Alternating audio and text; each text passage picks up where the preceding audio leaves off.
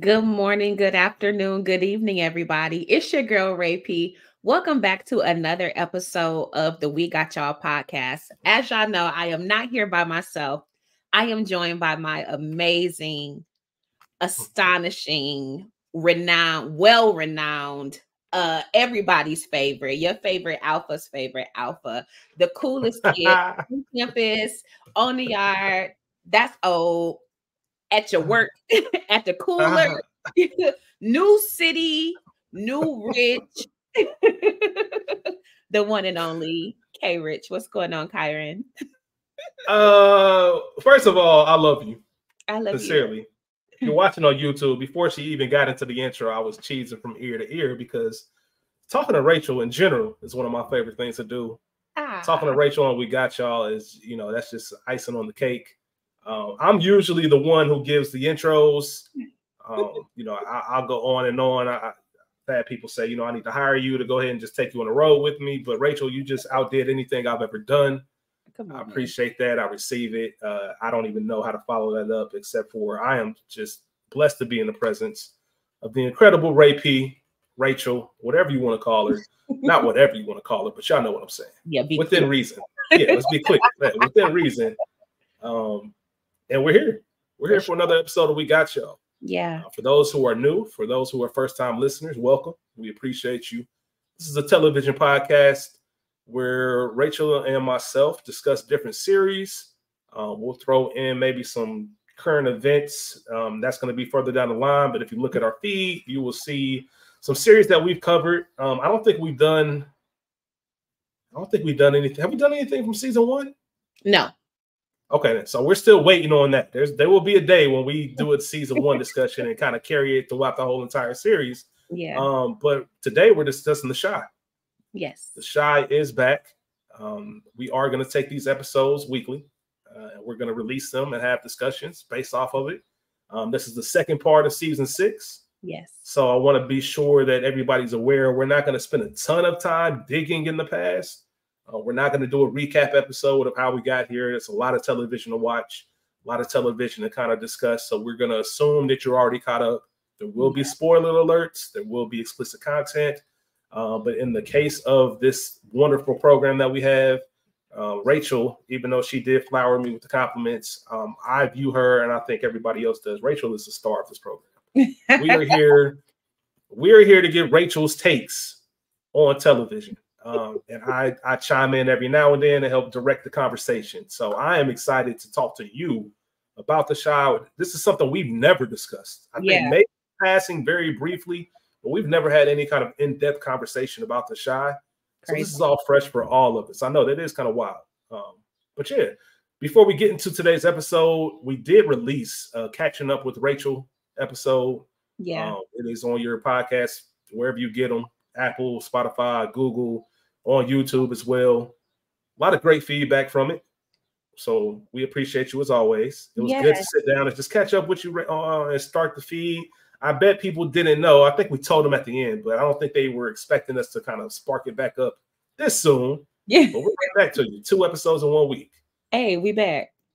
So we, we appreciate your patience. We told y'all once we get rolling, we'll be rolling. So look for yeah. us back on a weekly and soon probably bi-weekly basis with all the things we got coming in the pipeline. So your patience yeah. your waiting has not been in vain okay? It's not been in vain at least for the next eight weeks yeah. for sure. Yeah. You can check this feed weekly. We will be having reviews of the Chi. I'm sure that's going to overlap with um house of dragons. For sure. that starts in june. For sure. Hopefully Amazon does us a solid and doesn't decide to drop Harlem somewhere in the mix of all that. Yeah, please. I still think that I, I still think we're looking at a late summer, mm-hmm. fall type of situation. Haven't heard any announcements, um, but we have done two two shows at the same time. Yes, we so have. it's nothing new. Um, so yeah, you can count on us to be here. Make sure you subscribe to those feeds. Follow the We Got Y'all page on Instagram. Comment, share, tell a friend to tell a friend. If you like discussing television, I know we also have the Culture Garden podcast, but a lot of people found us through We Got Y'all. So, yeah, like I said, it's just one of those cool. This is one of those cool platforms that I just enjoy um, to talk about stuff with Rachel, and we won't hesitate. We'll get right into it. The Chi, season six, part two. episode nine, technically, even though this is the opener of the second part. I was just talking to Rachel in pre production. This did not feel like a regular season opener. Mm-hmm. So the mm-hmm. conversation is going to be more of a freestyle, like always. Uh, but here we are, episode nine, the aftermath. Um, it was directed by Boma Iluma, written by Lena Waithe, Justin Hillian, and Chris, Christiana Ray Cullen or Cologne. As far as the synopsis, Victor and Emmett deal with the consequences of their decision to take on Douda. Kiesha worries about her family's safety, while Jada and Darnell make moves to keep everyone safe.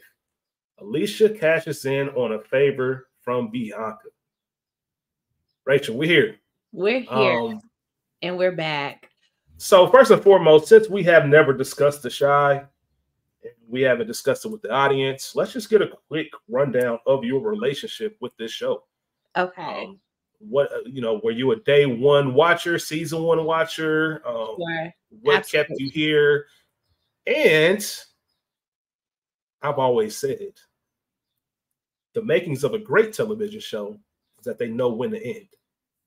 Mm. I want to know if you think that the Chi should have already had his curtain call. Ooh, great question. Okay, let me start from the top. I am a day one, season one watcher of The Chi. I was in love with the series when it first came out. It was so well written and we're while we're midwest kids we obviously are not from chicago but so from our outsider perspective despite visiting family i felt like it did a good job of depicting life, especially on the south side of Chicago. Mm-hmm. Um, part two, I have never stopped watching The Chi even when it was hard to watch. And I yeah. May or may not have said it last week on the checking in episode, but for the most part, even when shows fall off the rails, I will, especially a black show, I will continue to watch it because we need black shows and we need those ratings, you know, regardless. Um, I'll be vocal about my displeasure or uh, dissatisfaction, if that's the right word, with where this season has gone. Like, for instance, maybe it was season, this is season six, so maybe it was season four where Kiesha had gotten kidnapped. Mm-hmm that whole shit was crazy and unnecessary. I understand maybe they were trying to bring awareness to black women and young girls being going missing and still being right there, you know, uh, within yeah. the same neighborhood, not too many steps from home, this and the third. But it was just really traumatic and it felt kind of unnecessary um, for what we had. Even her escape and how she was found and like, all of that felt all forced. It. All of it. it all of it. Howsoever, it's good to see her on the other side of that. Facts. Um, Facts always. I don't think that the Chi should have ended already, okay. despite the changes in cast, because I I think a couple of things. I think everybody is stupid, but I like sort of the progression of the show. Um, when Jason Mitchell blew his bag, uh, being a ridiculous ass nigga, I'll be honest, his story was my favorite storyline. I think a lot of people feel that way. Yeah. And I know that Emmett now has Smokies, and he sort of took over that whole restaurant tour storyline of that.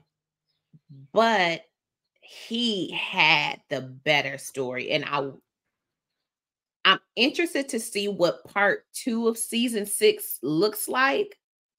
Um, and, and what that means for Smokies, what that means for Emmett's character. Um, I like the development. I hope that we get more of Rob um and Tiff with their ridiculous asses. Um anything with Lynn Whitfield, I'm gonna go up for. So I like her as his mother. I like seeing mm-hmm. her. I love the addition of Jill Marie Jones. We got her in part one uh, as Bianca. Mm-hmm. I'm, I'm curious. So while the show has taken some interesting turns, and I'm on record calling Lena Waithe the menace on many episodes. So Yes. as much as I say that, I do still ride.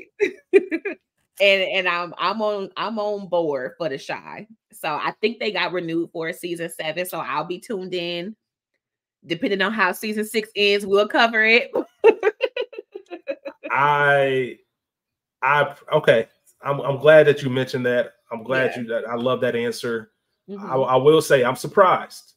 Ooh. I think one of the few conversations that we did have about the Chi was right in the middle when it was, as you mentioned, Jason Mitchell blew his bag. Mhm. Um, quote Kendrick had a weird case, got a weird case, got some weird shit going on in his life, sure. um, and kind of changed the dynamic of the show.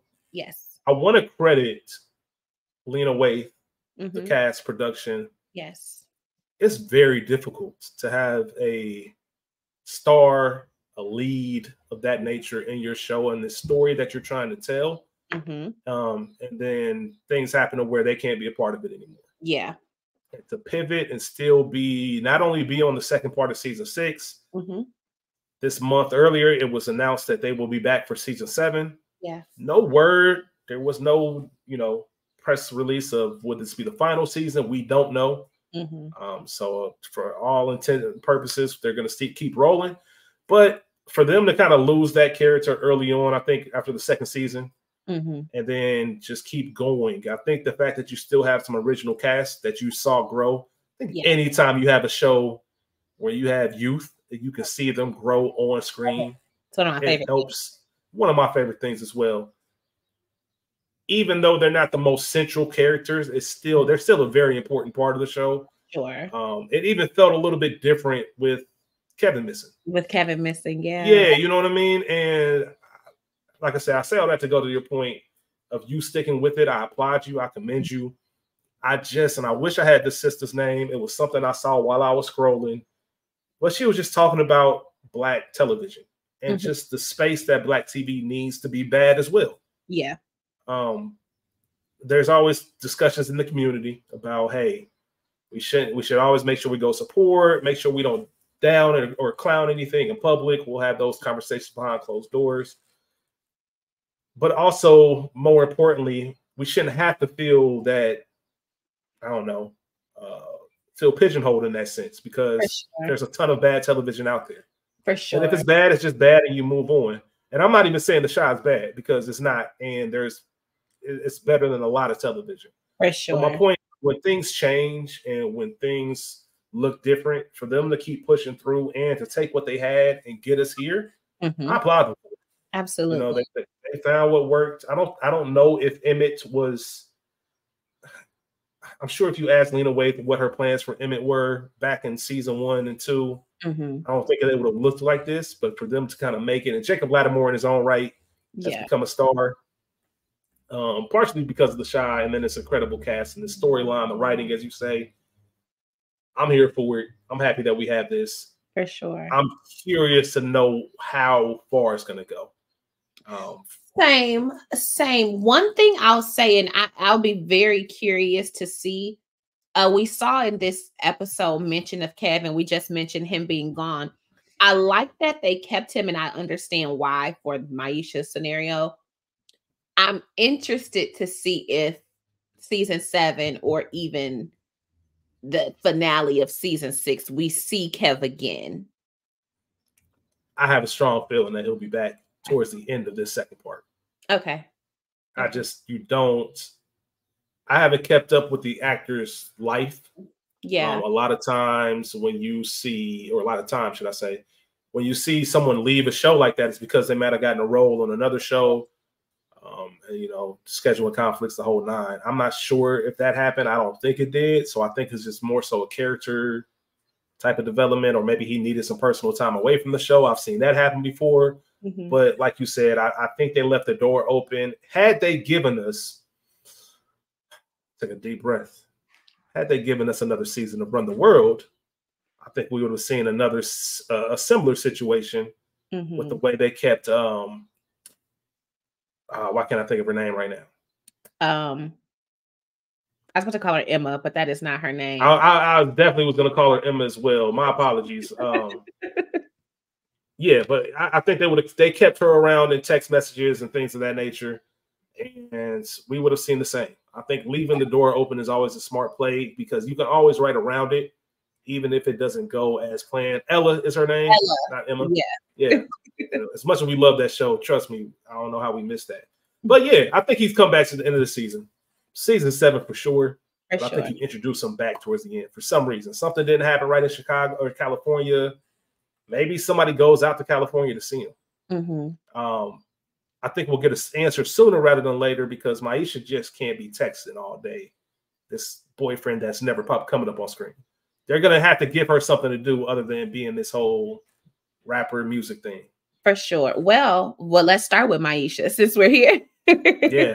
Unless her, oh well, I guess technically, yeah, you're right. I think I know where you're headed with this. Go ahead. Yeah. um let's take into context We've we talked about the children growing up maisha kev papa and jake and gemma and i guess now brittany Mhm. and bakari they are 17 between 17 and 19 you know what i'm saying they are Mhm. still very much young so while kev has grad and they all have graduated except for bakari um while they're out of high school they are still very much kids for real for real Very much. and so Maisha, we don't know that she works. She how she's funding her fledgling rap career.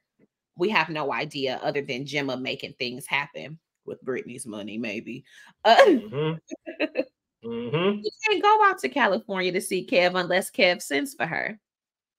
Facts.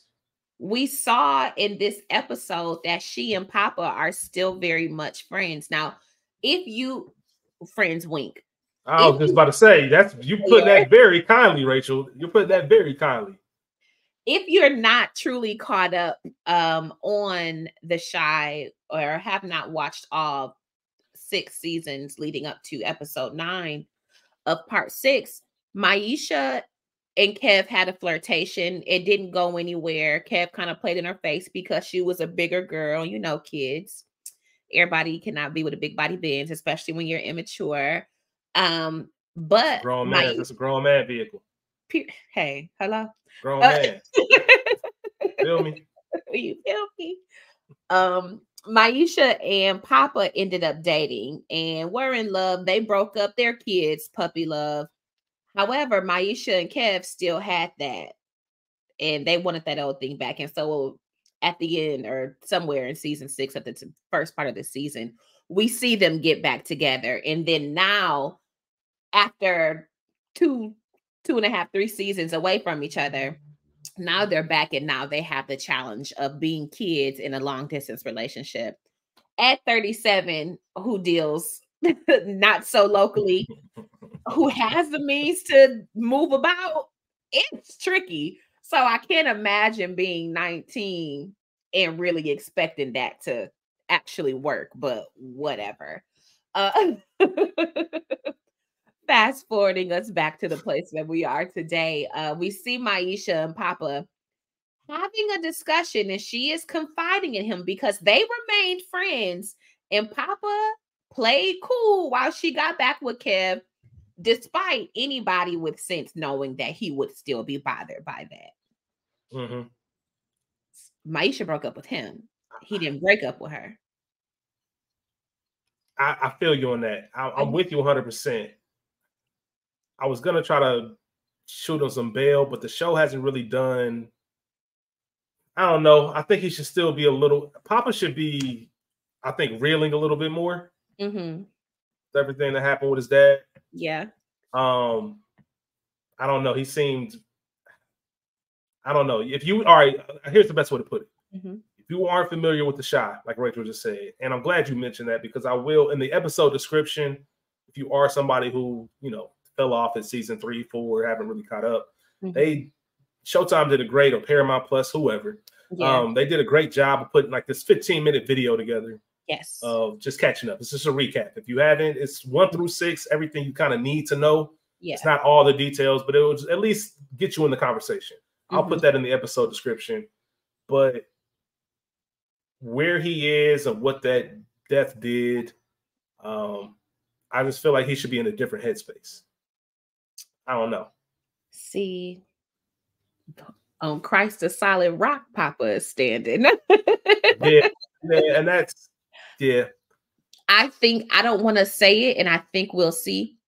I don't want to call it faux confidence or false um relief, but I think that there is a part of Papa that is just trying to be strong and is Yeah. just trying to make it and show up for everybody in his life because he feels like that is his duty. You know, he says in Yeah. the episode, you know, I want my own church. So before Papa didn't want to be a preacher. I mean, he Exactly. kinda- you know what I'm saying? But it Yeah. that was something that he was resolute in. So now I think that we'll see, at least for the first few episodes, we'll see Papa trying to take over that man of the house. Uh, I'm the only person that's solid around me, that foundational, structural character.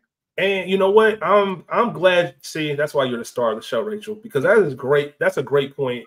Mhm. Looking back historically, Papa has always been the more mature one Yes. and kind of the one that leaned more towards the adult experiences, yes. whether he knew it or not. There's a lot of naivete that came with it. Mhm. Um, but even you know, his dad had a great line when he said, "You know, you're not you're in no position to be raising a child when I'm still raising you." Yeah. um back when um back when Kevin and Jake had their beef, like Papa was the one kind of letting them know, like, yo, we boys. For sure. Um, so I, so it makes sense, and the fact that you just said that reminded me of it. It makes it's on brand for his character. Mhm. Um, that's just a huge thing. But something else you said that I think is a big factor in this, these they are kids, Yeah. um, respectfully. Um, Yeah. because I don't like I don't like calling these 18, 19 year olds kids, but they are kids. And you don't know that until you reach a certain age. For sure. trust me, you're talking to two people right now. Yeah, you're listening to two people right now. You couldn't tell us nothing At at, a younger age to 17. Like sure. really thought we were grown, knew everything. And now I look back at the 17 year old version of myself and I'm like, man, you was dumb as shit. Yeah, what a mess. Yeah, so you don't know what you don't know, and you're still learning. You're still learning your own emotions and how to deal with certain things. For Um, sure. and there's that, you know, I guess enjoy it because there's a there there there comes a point in life where you just stop reaching all your first. hmm You know, all your you know all these emotions are kind of repeated. They're not, there's nothing new. Yeah. Um, and that can be a tricky time. That can be a Mm-hmm. real tricky time. So to watch them go through that and really still think that they know what's going on, it, it- it's something that I do enjoy about the show a lot.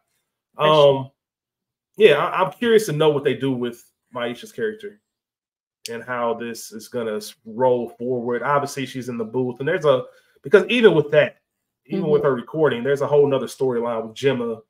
Um, that's a little bit more, I guess, intriguing to what we have going on as a whole. hmm Um, and Gemma doesn't even know it yet. All type, it- it's just a lot going on. It, it so is I don't know where Maisha fits in it. let let's stick with the kids i guess to to Yeah. bring this into the episode um to your point when we met maisha she was helping she was missing school to take care of her younger siblings while her mother was working Mhm. and throughout the course of the series she's made mention of wanting to take care of her family wanting to take care of her family. Howsoever other than this music and that bit of background information we don't know anything else about maisha other than she dated papa and is now dating kev. You know what i'm saying? So i would like the writers and i hope that's something that we see it's for them to delve into Maisha a bit more. I want them to give us more of her story, not just more screen time, but more of her story to make her a bit more of a well-rounded character. Um, it is very interesting, and I think she's totally justified in being frustrated with Gemma, and then now the Brittany, Mm-hmm. the integration of Brittany into their lives. You know, when we met her in part one, we know that she is Bakari's sister. They were separated as two children of the system. She's back and she's a rapper. That's dope. Gemma is immediately intrigued by her. Um, there is a chemistry that let me just pause. I love a good mouthpiece. Period. Listen, And Brittany got Listen. a motherfucking mouthpiece. Gemma doesn't Yeah. stand a chance. that's real. Gift of gab is a real thing. the gift of gab is a real thing. And as some as a private school girl who primarily found myself on the other side of the tracks, a motherfucker with a mouthpiece is dangerous. it will be the ride of your life. But if you're not well equipped, you will lose your damn mind. And I think that that unfortunately is going to be the plight of Gemma. Mm, yeah, I can see that. I can hundred percent see that because she's she's smitten. She's smitten. Not in not necessarily because all right, let's take what you just said. Yeah. Someone who may or may not, I can't confirm or deny, have a little bit of a little bit of something to say. I'm just gonna put it like that. I might have a I might have something to say. I might have something to say every now and then.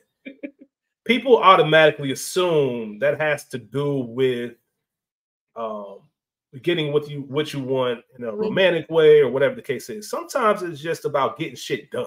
Period. And that I found in my life is more the attraction.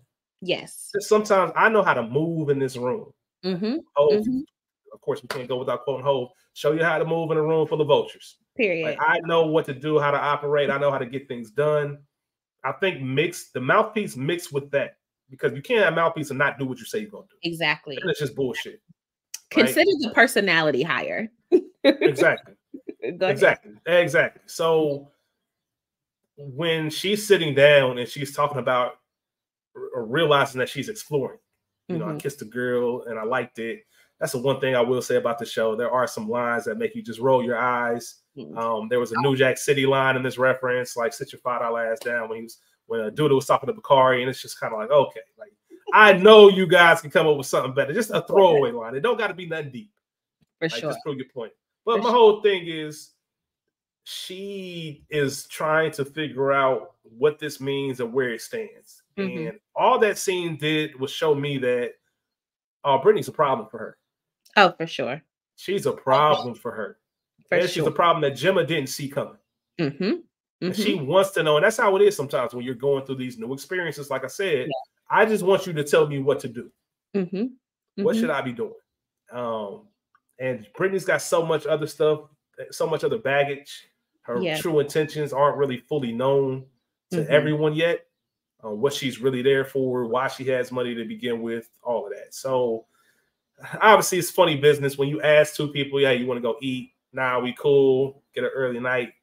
Social media always does it. Always. Always does it. You know what I mean? Way. always does it. You see, everybody's done been on that phone and seeing some funny little funny little thing that you weren't expecting to see. mm-hmm. Mm-hmm. Oh, okay, that's how you're moving. Okay, okay. Oh, I see you. Bet. Yeah, Got it. Yeah. Peeped. Pete, bet. I felt bad you for Aisha in that because I did feel bad for Maisha. while Jake may be a little curious about what's going on between um Brittany and Maisha because Jake too is from the other he's from the streets, quote unquote. You know what I'm saying? Mhm. He knows that and he knows what's up. Uh, Jake saw Brittany coming a mile away, despite not knowing her initial true intentions or where she came from. But he peeped game because Jake too has a mouthpiece. Again, if you're not a season one through six watcher of the Chi, Jake low key game Gemma from Kev. So he knows a bit about being Mr. Steal Your Girl. So here we mm-hmm. so I, I would be very, very, very curious as to as to what that looks like um from his Let's- perspective. Go ahead. You mentioned Jake, and I want to talk about Jake. Yeah. I, I'm all right. So this is where it gets tricky because, like I said, this is not. They did a really good job of making sure this was the second part of season 6 mm-hmm. not the beginning of season seven. Yeah. Right. So it, there was no mistake. If they picked up right where they left off, quote as you see the title, the aftermath, Matthew, right in the aftermath of everything. So I don't know exactly what's going on with Jake, but we know Jake is smart enough to know what that money meant, right? I was disappointed. And then you know what? I was I, surprised. I was very surprised, but then I wrote down he is still a dumbass kid. He is, but you're right. You're 100% right. And that's at the end of the day, at the end of the day, no matter what I say out of my mouth next, mm-hmm. what Rachel said is the answer. He is a dumbass kid. That's it. But, and despite I'm not I'm not gonna step on it, but go ahead, go, go ahead. living with Reg, the other brother who's now whose cause of death is Douda. mm-hmm. Spoiler alert. Yeah. Um, and so living with Trig, even though he knows, he knows about selling a little something. He knows, but remember when Reg was really kind of running things, Jake and them was like 13, not yeah, even youngins. They were still significantly younger. So yeah. I can still little bro you. The only I'm less dare I say disappointed in Jake for doing it, but with this is the story that we have because I'm more irritated, quote unquote. If I'm not even really irritated, but it's like, damn, get it together.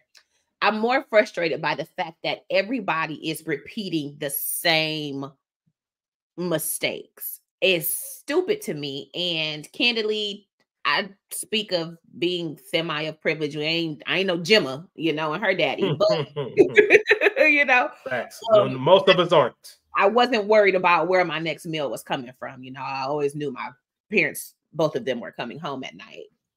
Thank you, Lord. Um, but that desire for money, and y'all know I'm churchy if y'all been following us, like the love of money is truly the root of all evil because that desire has everybody making such ridiculous, foolish ass decisions. I understand that Jake is 19 and he has this. I said fledgling earlier, but he has this little this startup business that he's that he's getting off the ground. We appreciate an entrepreneur. Howsoever, we learned in season one or two who Mr. Perry, aka Douda, was. We knew that. Mm-hmm. So for Brandon, aka Jason Mitchell, to go into business with him, which is how we learned of Douda and all his uh devilment. That's one thing. But then for Emmett, Trig, despite them having history, aka Victor, uh mm-hmm. Jake's other brother who he lives with. Mm-hmm. And now Jake getting caught up in his shit.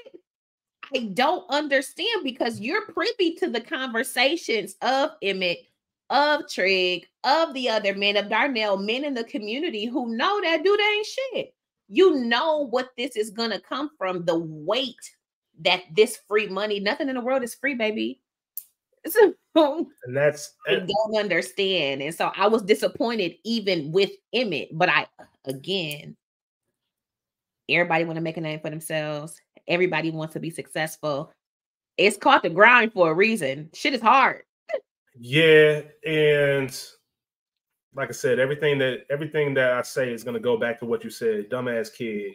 Yeah. However, I think the thing that disappointed me the most was there was no he asked, "What's this for?" I get that, mm-hmm.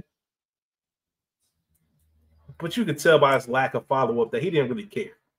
He was just going to take that money. Um, when he get, you know, that kind of money, exactly, and just hand it to you in cash mm-hmm. with nothing. Um, that's why people get fucked up with credit.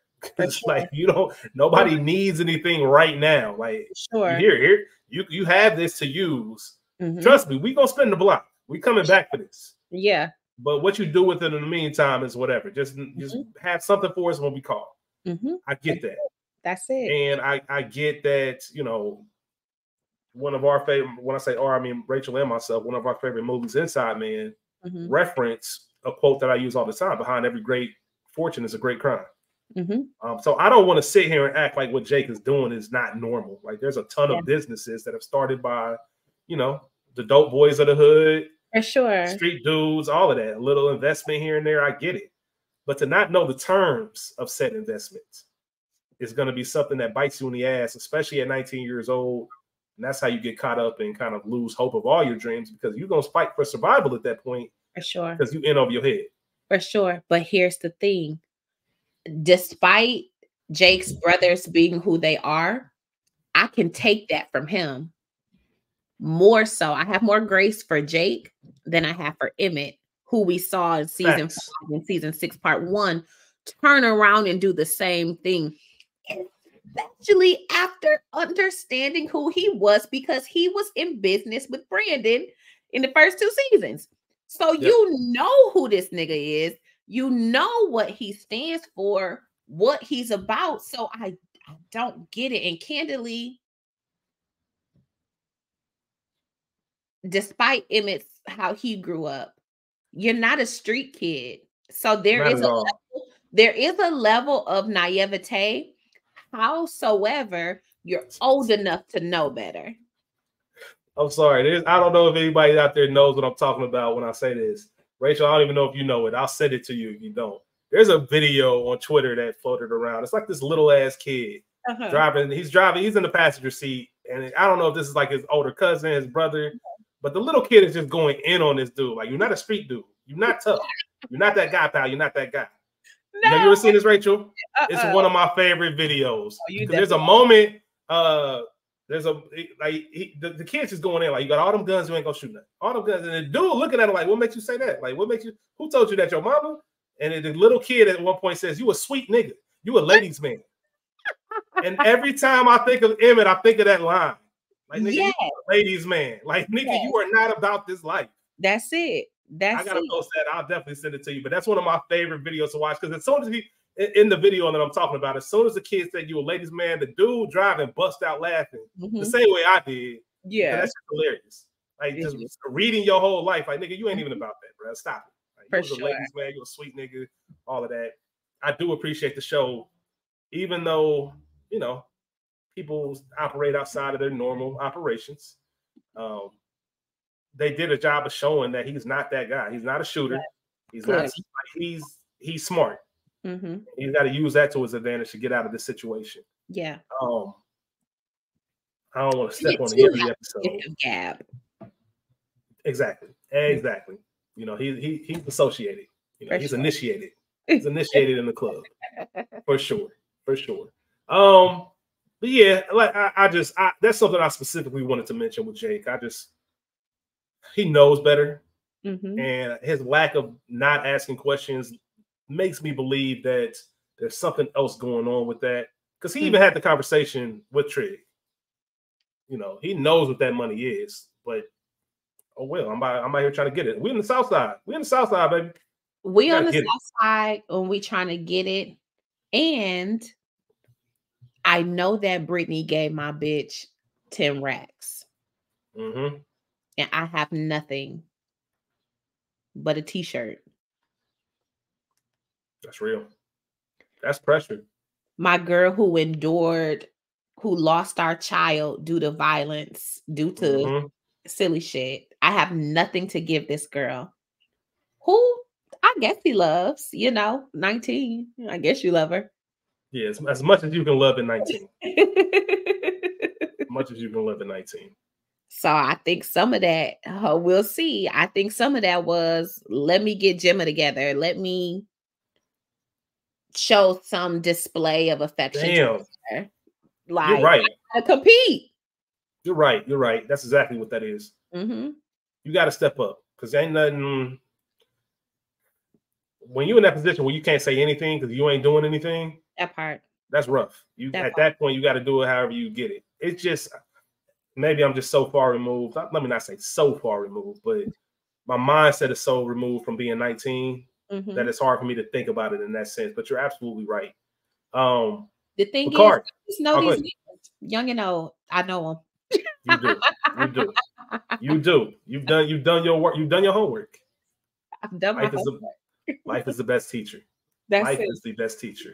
Um, Bakari. Bakari. I feel bad for? Bakari. Okay, let's get into it. I if y'all I'll be talking tough, but I really am a bleeding heart, guys. um, I feel bad for Bakari because he really is caught between a rock and a hard place. Um, it's not easy to get out of the game.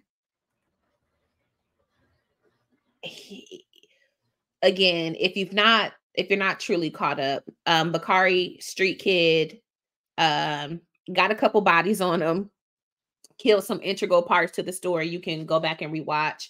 However, um, in an effort of brotherhood and trying to clean his life up, he moves in. Papa and his family take him in. However, pretty much almost simultaneously, he ends up as one of Douda's henchmen because they know he's a young wild boy who ain't scared to shoot. So he becomes that. And now you go from robbing, stealing, begging for food, no place to lay your head, no money, to a place to lay your head, a home, and now money. Dirty money, mm-hmm. but money nonetheless, something that you've never had. So mm-hmm. It's hard to break away from, despite everything that's happened. And having the realization or understanding that if I leave, I'm not just walking away. Do at this point, am I jumped out? Is it blood in, blood out? Is death the only way out of this association? I mean, I guess Trig did it, but he went to jail to get away. Exactly. You know what I'm saying? So Bakari again, and I think he's even younger than them, than uh Jake and the crew. I think he's a year or so younger than them. Is he? I think. I either either way, yeah, he, he's right around. Here's one thing for sure: he's not older. You know that. Exactly. Sure. Exactly. Exactly. So here he is. He just does not have really anywhere to turn. And you see, kind of Papa being like, bruh, I could have died. But again, at 17, 18, 19, you don't necessarily have the wherewithal or really the freedom to walk away like that and not be in fear for your life. Especially, because go ahead. I was gonna say, especially with a nigga like Douda. Especially with a nigga like Douda, because regardless, even though being a drug kingpin, murdering slash, slash mayor slash mayor being his henchman, despite the danger that comes with being a hired body or whatever for him, there is still a level of protection. And regardless, Douda said to him, We're your family now. There is a level of obligation that all of that nook, nuck, the other nigga, Douda, all of them a responsibility that they have to Bakari because he's affiliated. And mm-hmm. unfortunately, ain't nothing. They clearly ain't shooters. They ain't street niggas. It's nothing y'all could do other than pray for me and give me somewhere to lay my head. That's yeah. it. So at 17, 18, 19, it's a tough choice to make. It's hard. It's not easy, especially when the alternative is them killing me. Yeah, you don't. That's one of those things when you get into it, you never ask, "How do I get out of this?" For sure. Um, ain't no blood in, blood out. Yeah, on our on our other podcast, the Culture Garden, we we reviewed Ray a few mm-hmm. weeks ago, and Ray Charles in real life had a quote where he just said, "Hey, if I knew that I was going to live into my 70s, I would have taken better care of myself." For sure. I think about that in a sense with Bakari. Like, if I knew that I was going to have this moment of my life where I wanted more, mm-hmm. or to mm-hmm. switch it up, or to pivot, maybe I wouldn't even got into it to begin with. Yeah, um, but how could also? Re- Yeah, that, and that's the thing that he's a child. You don't know that, and that's what we've been discussing. You can't you can't escape that part. Um, and then also, I think of Big Boy's character in ATL. ATL, okay. What I tell you, what I tell you when we started, this grown man business.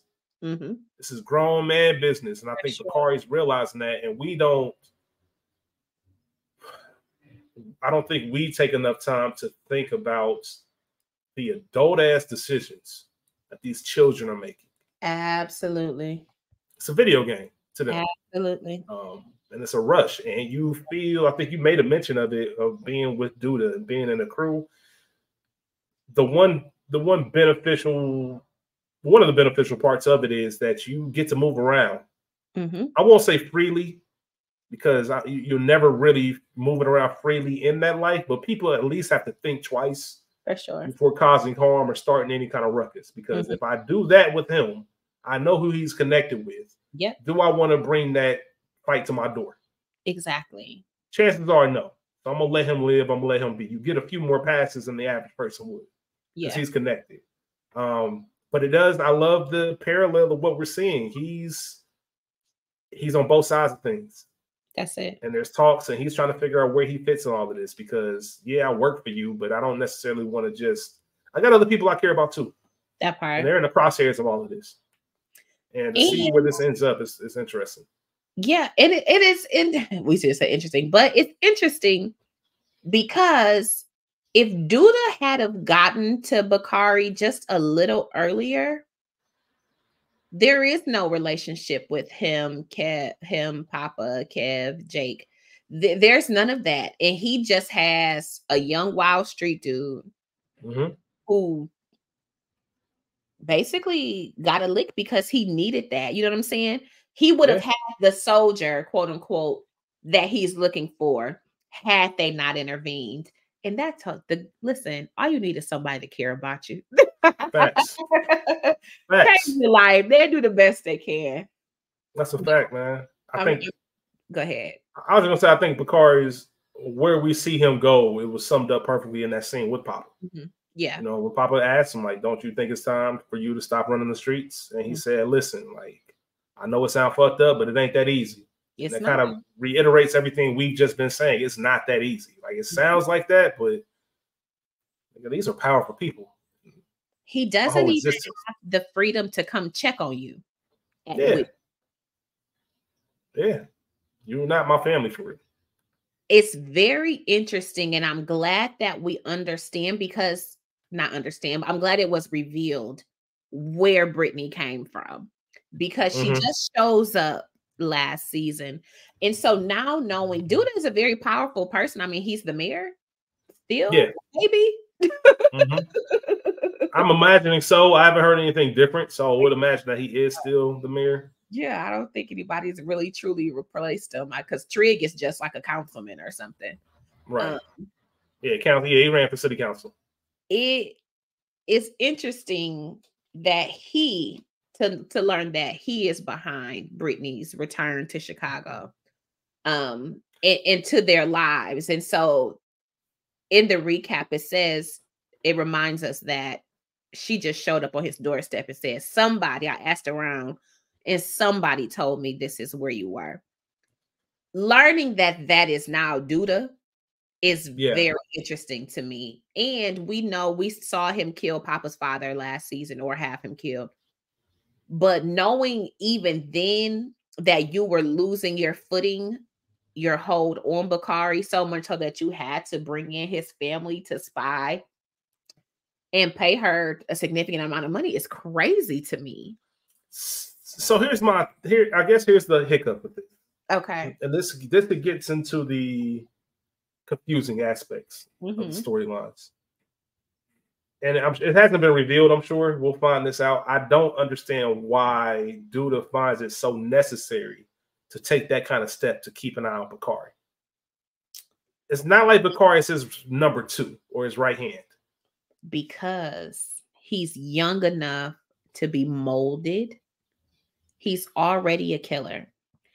Despite the influence of Papa in his family, a year and a half does not erase 15, 16 years of struggle. You've been killing, you've been not having a conscience.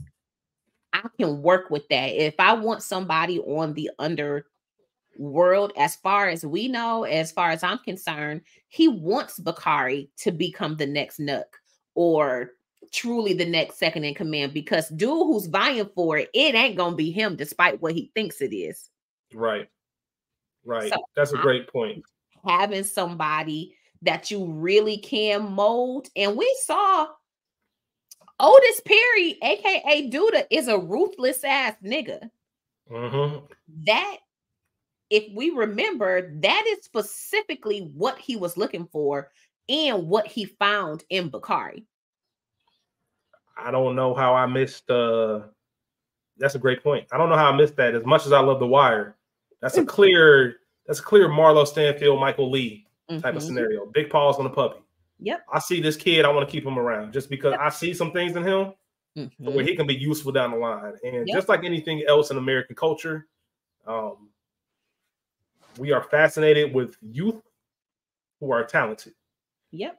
If you are yep. young and talented, there are a lot of things and a lot of doors that can be opened up for you. For sure. And that's for no, sure. it's no different because it's the street life. For sure. And here, here's here's this. I also think that Otis really does want to be a father.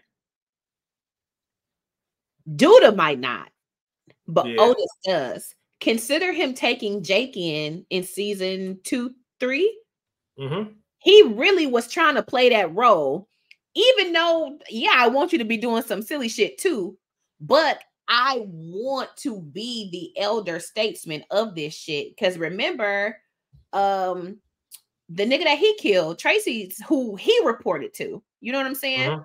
So he he wants that, and he looked at that man as a father, despite I mean, sometimes niggas gotta go, but I think that he wants to continue that. So there's a part of it, and like you said, big hands on small paws. Is that what it was? Yeah, but, uh, big big paws on a puppy.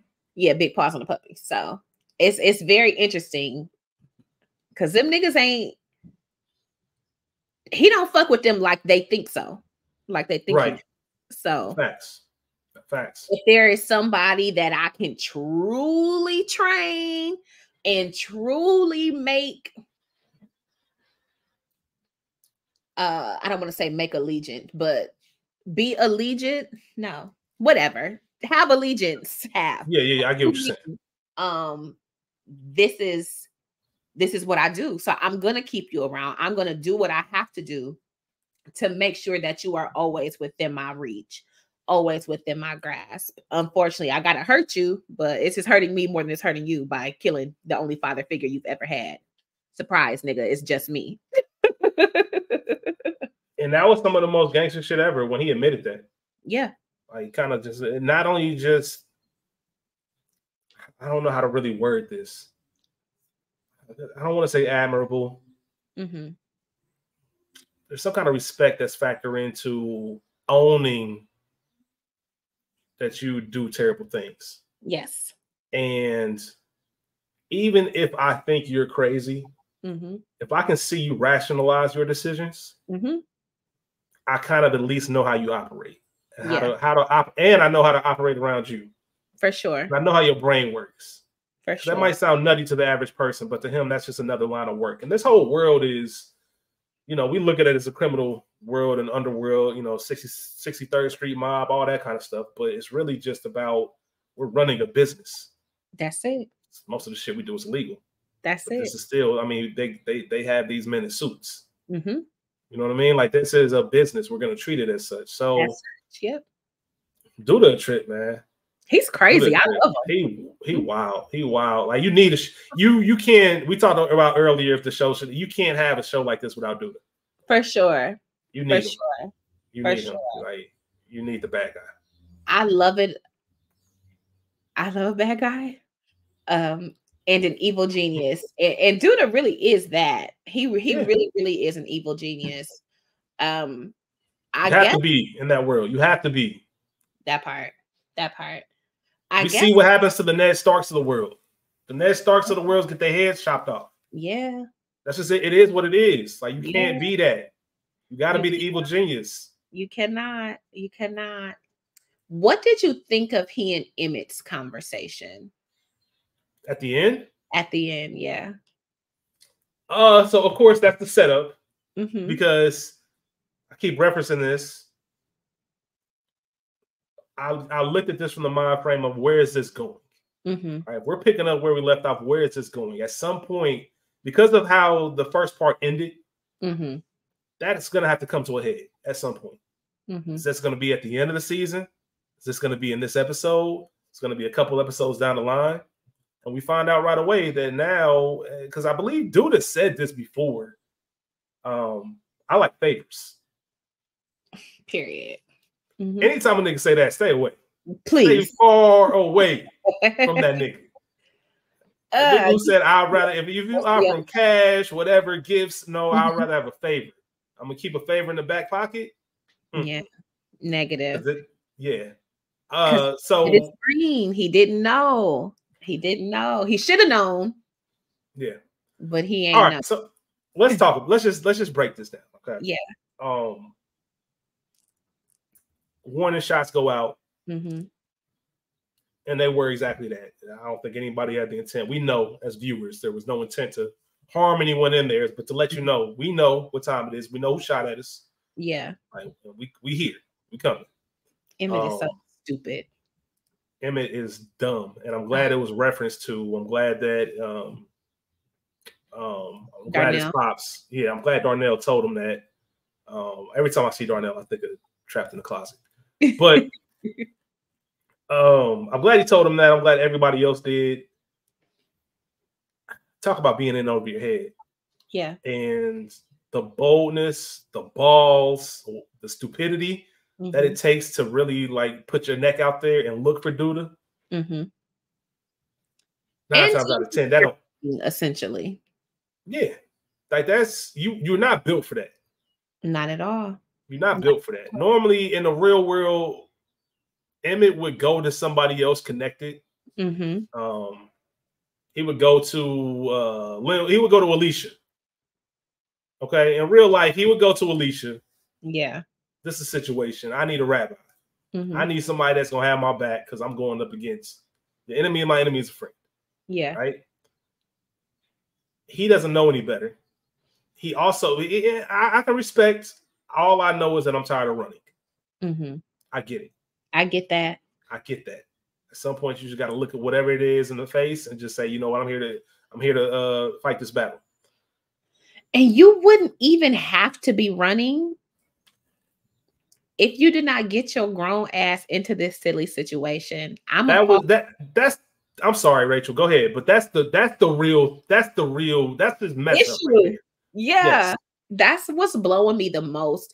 And I felt some kind of way. We don't do things that bother me, but a thing that bothered me was this, and even Kiesha's response towards the Mhm. end of part one, and then even here in the only, well, the first scene that we see her in, you know, Kiesha was on board for all of Douda's help.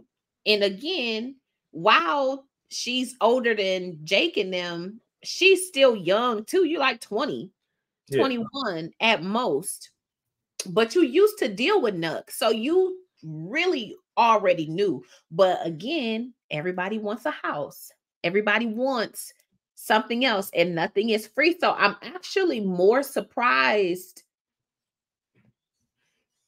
at how, and I guess maybe this is just an age thing. I'm surprised at her reaction. You don't want to be in danger. Of course, nobody does. But you don't want to owe this nigga shit what you take from a nigga who likes favors. Once again, an- another wire quote, Rachel. You want it to be one way, but it's the other way. It's the other way. Like I, I didn't understand. That was so frustrating to me because she really was wanting it both ways. You know what I'm saying? You want this nice ass house on the north side. You want all of this other shit, but you know your man does not have it. This nigga has three, four kids and is help raising yours. Did immigrant Emmett graduate high school? We don't know, but he's lucked into now owning Smokey's with the help of this drug lord, mayor, business assassin. If I'm not mistaken, Kiesha even made a reference to saying why I, am paraphrasing, but why do you act like we can only have this because of duty? It does not make sense. makes zero sense whatsoever. The naivete, dare I say, you just y'all don't know how much shit really, really costs, but you know what you want. Oh, bless the youth.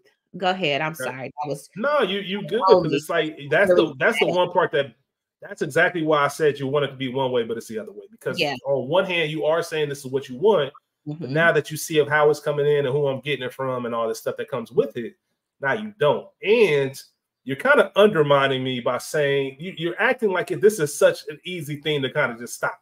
Right. We already in it. I did this to you. Exactly. We owe the money. We owe the house because I believe that shit is in Douda's name. Like, yes, nothing that you have is off of your own merit and skill. You're a young mother in college, you know, trying to figure it out. You can't mm-hmm. do this. And, and, what he was able to provide was not enough. You need more space. You need this and third. Not understand that. Howsoever, baby, it's some strings that come. And so once them favors get to calling in, you cannot be scared. Even if it's scary, you can't be mad that it's guns in the house. I got to protect us because we involved. And even though she knew at one point that Emmett was essentially in debt with this nigga, you kept asking for more. You was mm-hmm. grateful. You were benevolent. You wanted it. She ain't got to get dirty. Until you can't have it both ways. you cannot have it both ways. Play in the dirt, you get dirty. That's what comes with it. That's these it. Rolls of money, these rolls of 20s and all that, and this bag. Come on. It comes with a price. It's an interest, it's interest tacked onto this shit. Yeah. A lot of people can't pay it. For sure. So that's just kind of where we are. Um, but let's get back to the ending. So let's yeah. get back to the final scene between very bold, very dumb, however you want to look at that, him showing up.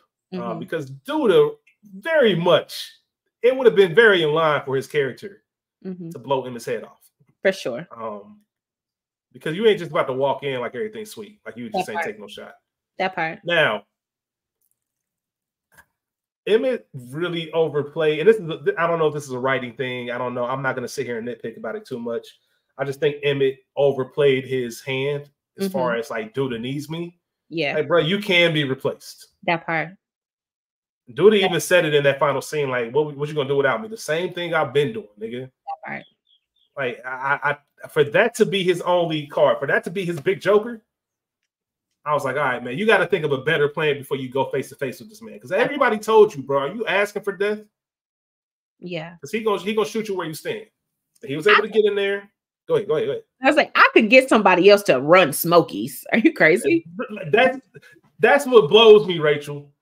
He acts like he his position is so uh prestigious. Yeah. So one of one that Douda can just find another face, another clean face for this business. That's it. it's it's we in Chicago, my nigga.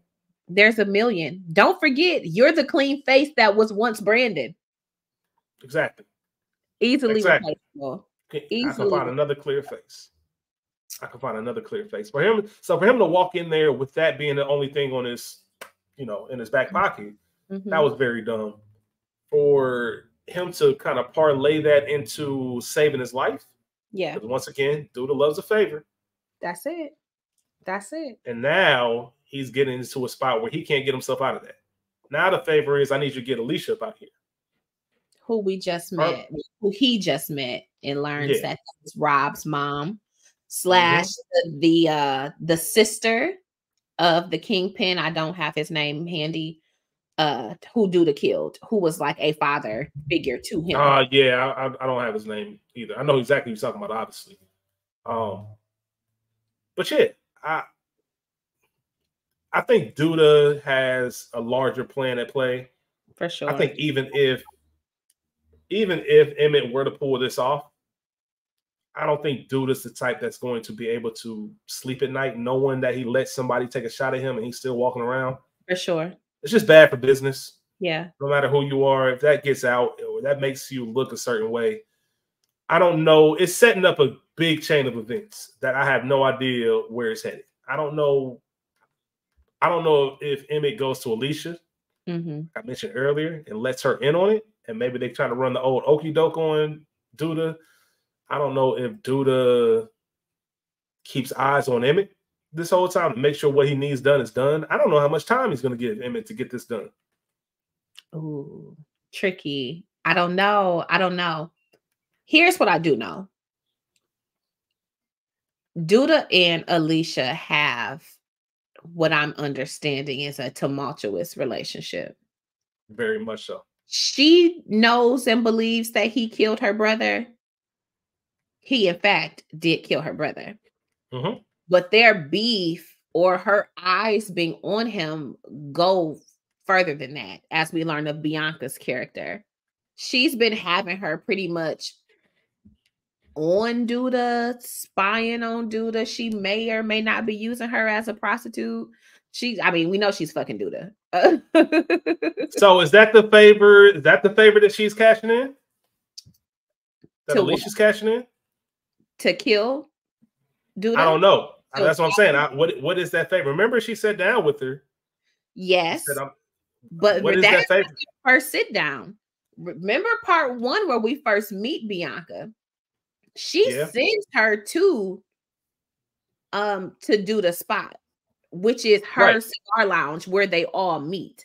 So she's been had her pretty much on him, but now that she's back in the city, I think that she's asking her to kick up the favor, and I think she wants to use her pretty much as a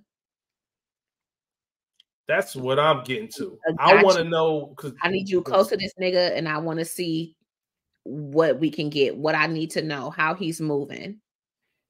Yeah, because we went to the next scene, um, without her, uh, without knowing exactly what that favor was. Yeah, yeah. Just letting her know that it was time to cash in on it. Mm-hmm. So we have both of these, I guess, the kingpins, for lack of better terms, Yeah. asking someone for a favor. Mm-hmm. We know for sure what Douda's is. Yeah. We don't know what Alicia's is. We can only assume, and I'm about 95% sure it has something to do with Douda. for sure. Um, but that type of, I will give credit, that type of writing sets up the foundation for the rest of your season. Yes. It's not giving us too much, it's leaving the door open. There are endless possibilities. mm-hmm. Mm-hmm. Um, there's no way Emmett should have walked out of there alive, but here we are. Here we And are. We're in we're in for a doozy of a of a second part of the season. Here, here is why. Part of why I think that uh, Emmett walks out.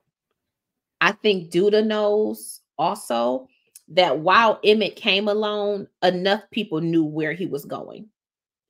So I cannot, without murdering your entire family and whomever else, I cannot cleanly get you out of here right now. Because when you don't come home today, where I'm positive that you've told people where you were going, that makes things tricky for me. And he's already had to come back from a violent, uh, being outed as violent, you know? Yeah, yeah. That's the Damn, it- only reason, one of, and now wanting this favor done. yeah. Because she asked she asked Bianca directly, like, "How close are you?" Like that means he trusts you. That's good to know. Yeah, So whatever it is, it's conniving. for sure. They both. they- this is a. We don't get a ton of television where you just had two. Even the posters, even the promo posters, Mhm. there's two different versions.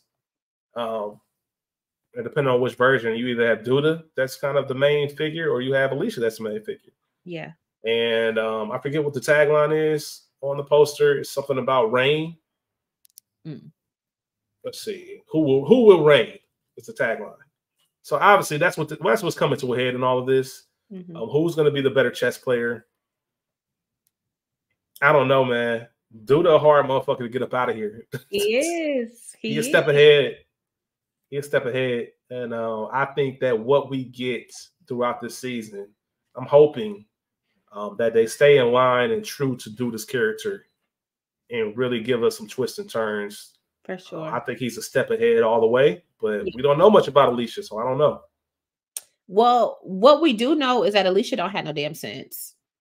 Yeah, and that can be bad for war. Sending Rob, your son, who you know ain't no killer, despite being a I don't I don't like calling people who only sell weed drug dealers. Like he's a weed man. the weed man, yeah. Sending him out to kill this kingpin, the top dog, and you don't know that your son has ever shot a gun, one moving, a moving target, fucking ever, you don't have no damn sense. And I understand wanting to avenge your brother. Howsoever, you have to be smart about it. So I hope that she takes whatever her plan with Bianca, she has a, she puts a little bit more thought into it. Because uh, go ahead. No, I, I, promise. I promise everyone listening. I, I, I promise you this will be my last wire reference. Okay. But yeah, once again, once again, there's so many similarities. Once mm-hmm. again, to your point, Rachel, sending him out there to do that. Mm-hmm. There was a mm-hmm. scene in The Wire where Slim, not excuse me, Stringer Bell asked Slim Charles to take out Clay Davis. Clay mm-hmm. Davis, a state senator. Yep. All types of shit you know, he arguing, and Avon finally steps in and said, "What? Like you just kill a downtown nigga like that, the whole world gonna take notice. You need a day of the jackal type motherfucker to do some shit like that, not a rumble tumble nigga like Slim." That part. Somebody should have been telling Alicia like, "You need a professional to take out a nigga like not this weed that man part. on the. He's your son and all, but he, bro, he, you think he gonna touch Douda? Come on, be smart. Absolutely no sense. And uh, Bakari, to your point, Bakari says something too. You came for the king and you missed. Bruh, what you think gonna happen? Come on, dog. I'm at your head. I'm at your head until this until your head gone. That's it. That's it. Whew. I'm excited. It was a strong part two. Very um very. season. I don't think I realized that going into it that it wouldn't be the start of seven uh that Me it was the second part and i know that a lot of shows are doing that um these days for whatever reason but it was a very very very strong uh reopening and Absolutely. i'm excited to see where we go. Couple little things we learned that nita and uh dre nina and dre are no longer together who is Kiesha and kev's uh moms. I don't really love that um we saw um Tracy and Jason Weaver in shots. X, I can't remember her name. We saw them talking. So I hope that we see more of Rashad despite uh him essentially being homeless. Since uh Trig wouldn't let him move in when he sent the wrong text. hey, please, please double check before you hit send. Please, please, please. I can't really think of more. I, I can't think of something more that leaves me more embarrassed. Um, or that would leave me more embarrassed than hitting sending a message to the wrong person. Yeah, I mean, we've the worst things you could do. I've, I've we've done all it. done it. Yeah, we've all done it. But shout out to Apple and iPhone for unsent text. That's hopefully you catch it before uh, they read it. But and I'm the type of nigga that I'm the type of nigga to send a message. What you want to send? I'm that I'm that nigga. What you saying? What you saying? Yeah, say that shit with your chest. um, but next week, yeah, I'm sorry. Did you have any other small notes that you're going no, through? that's it. I'm excited for next week. Yeah, next week episode is titled "Want This Smoke." Mm. Um, so you know, titles are going. They're they're giving us everything that we uh that we should be hoping for. Yeah. Want this smoke? More of the aftermath. More of a setup episode, I believe. Um, I, I feel like this is going to be when I say this, I mean next week's episode. I feel like it's going to be more of a setup for the rest of the season. Got it. Got it. I'm, Compared I'm to what this episode would have been. For sure. I'm curious about what want this smoke?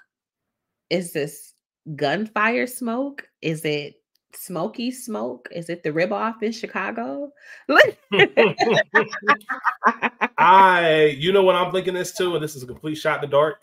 All of it. Um, all of it, and what I would imagine, this goes in my theory of this as being a setup episode, I believe, next week. Yeah. Everyone knows the phrase where there's smoke, there's fire. For sure. I think people are going to start to connect some dots, mm-hmm. um, figure a couple things out, and then set up the long play to get us to episode 16. Got uh, it. which will be the eighth episode of this second part. So I don't think we have gunfire. I don't think, I think this first episode was a lot of action. Mm-hmm. Not necessarily action, action, but really answering some questions that everybody had ever since last September when yeah. the episode uh, ended. And I think that by the time we get to three and four, it's gonna ratchet up. For sure. So we'll see. We'll see. This was uh this was fun, Rachel. Our first time talking about the shot. Yeah, yeah, I'm excited. I'm excited. Absolutely. What happens? You, you and me both. So um, as always, thank you everyone out there watching or listening, whether you're cruising in the car, cruising in the car. What the fuck do I sound like? Whether you in, whether you in the car, yeah, exactly. You know, on your Apple Podcast app, if you're on Spotify, um, if you're watching on YouTube, we appreciate you. We can't do this without you. Uh, we love. We got y'all. We are back. Yeah. Once again, we'll be back for a while because, like I said, even when June comes, we'll be rolling right into House of Dragon. For sure. Uh, we'd like to give y'all some variety. So please check the episode description. Once again, there will be, I will drop the link to that YouTube video for the 15 minute rundown. If you haven't had time to get caught up, that at least gets you in the conversation. Mm-hmm. Um, I'll make sure we put the Linktree for all of our other content. Rachel and myself have another podcast, The Culture Garden. Uh, we pretty much do this, but we do it with films. Yes. Um, so we release every single Thursday on that feed. YouTube link is there, social media, email address, the whole nine will be in our episode description. Uh, mm-hmm. Uh, please subscribe, comment, rate. Once again, tell a friend to tell a friend. We appreciate all of you deeply. Um, that's about it. We're gonna see y'all next week. Uh, we will figure out what days these are gonna drop. The Chi comes on Fridays. Rachel and myself will take some time to figure out when we want to record these on a consistent, so we'll have them to you, um, and we'll go from there. But other than that, y'all be cool. Hey, y'all be cool. Peace out, guys. Thanks for listening and watching. Peace. We out. Bye.